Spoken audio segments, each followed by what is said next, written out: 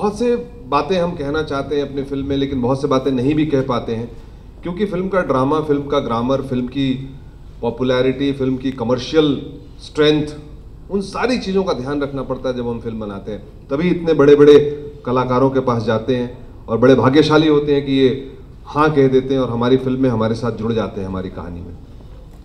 तो इनकी भी उम्मीद है, उसको भी कायम रखना पड़ता है, जो ऑडियंस की उम्मीद है, उसको भी कायम रखना पड़ता है। और जो एक ग्रामर है फ़िल्म का वो पॉपुलर ग्रामर इस्तेमाल करना पड़ता है।